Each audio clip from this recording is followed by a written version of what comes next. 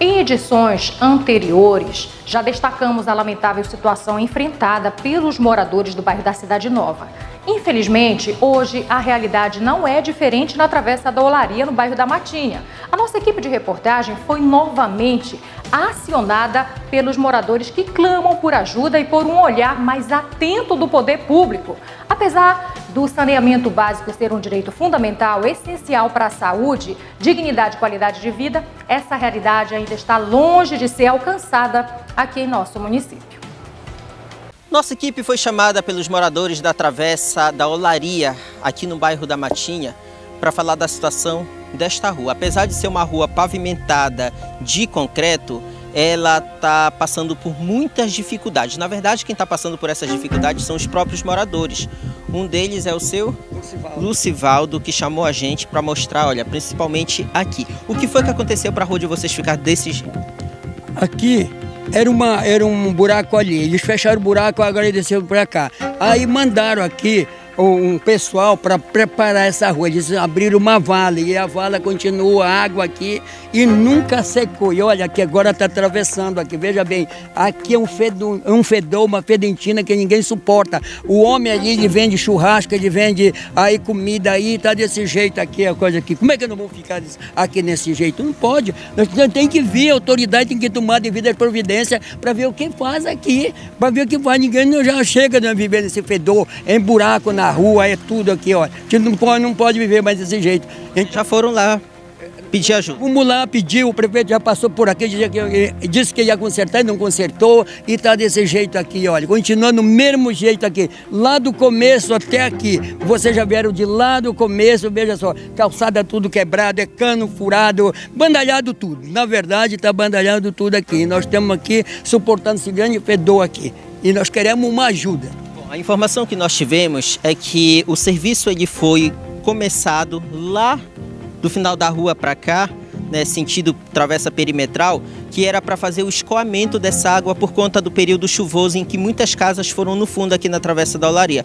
Porém, esse serviço não foi concluído, né? Só foi começar. Não foi concluído e não vai, porque quatro anos já se passou e não foi concluído e continua desse jeito aqui, olha. Aqui é dengue, aqui é malária, aqui é uruá, aqui é tudo, é uma porcaria aqui na nossa rua aqui. Nós queremos que, que tomem as devidas providências para ver como é que fica isso aqui.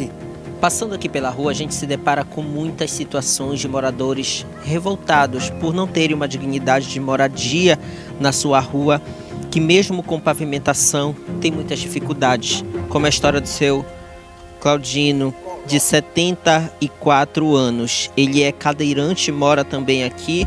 Chamou a nossa equipe porque o senhor vive revoltado com essa situação aqui na frente da sua casa? Paguemos tudinho isso aqui, cada um deu dois, três sacos de cimento, eu dava comida e fizeram. No entanto, de ver, bandalharam tudinho e ficou nessa situação. Eles começaram a quebrar que era para fazer a drenagem, né? Mas não foi com. Não, eles vieram fazer para puxar uma água lá daquela rua, isso aqui era só merda.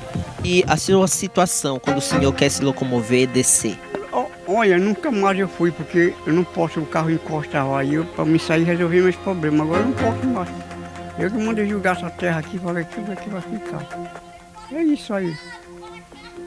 E vocês vivem esperando por um milagre para resolver isso? Uma providência que a gente, a gente vamos para chegar o inverno vamos para o fundo.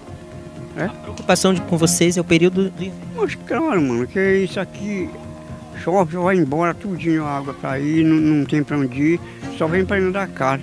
Não tem. Há dois anos atrás, eu, eu dormi, eu ia dormindo umas 10 ou 11 horas da noite e a minha filha me chamou, aí pai, vai chegar a água no seu, no seu colchão. Aí eu tive que levantar, ficar em pé, nós fomos tudo no fundo. E eu nessa situação. Eu não posso andar, não posso ficar.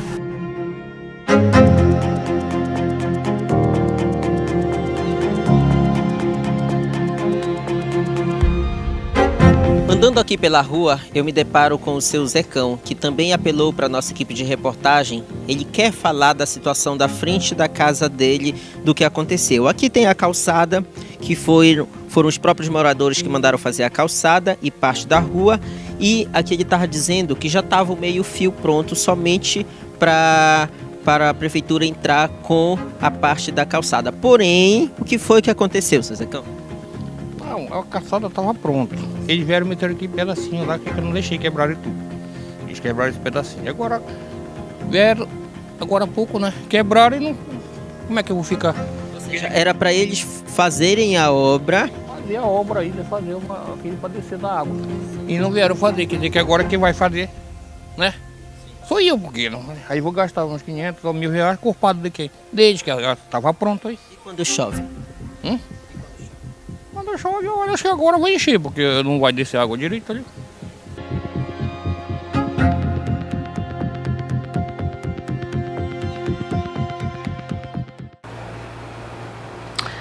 É, gente, realmente é lamentável essa situação, né? A ausência de uma rede de esgoto eficiente tem afetado profundamente os moradores, expondo-os em condições insalubres. O mau cheiro constante, o acúmulo de lixo nas ruas, o alto risco de contaminação por doenças são problemas recorrentes enfrentados por esses moradores que você acabou de acompanhar aí. Nós sabemos que a falta de saneamento básico adequado é um problema crônico, com graves repercussões na saúde pública, mas é imprescindível que os governantes e gestores públicos priorizem investimentos na ampliação da rede de esgoto e na implementação de programas de saneamento básico. Na minha opinião, isso sem dúvida iria reduzir significativamente o número de internações hospitalares e proporcionar também uma vida mais digna a essas pessoas, principalmente pessoas idosas, cadeirantes, como a gente mostrou aí. Saneamento básico deve ser tratado com necessidade urgente na melhoria aqui da vida no, do, dos moradores da nossa cidade, gente. E assim a gente poder transformar essa triste realidade que muitos cametaenses, como esses que você acompanhou aí na reportagem, enfrentam diariamente. Por telefone, tentamos entrar em contato com o secretário de Obras, Fernando Camarinha, que ficou de retornar a nossa ligação, mas até o fechamento desta edição não tivemos o retorno.